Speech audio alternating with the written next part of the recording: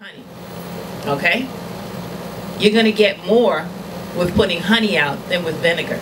But you spew vinegar. Why you're rubbing your head shows what? You're frustrated. Why you can't stand still, why your fingers tap, all of that reflects what's going on in your head, what you think about me, everything else.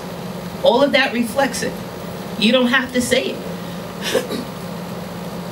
You don't have to say a word. You could sit down right now and I would know almost exactly what you felt about me, what you felt about Mr. Hamilton, what you felt about how things are handled, etc. But part of being a professional, which is what we're trying to teach you to do, because this is your career, part of being a professional is learning to speak to people.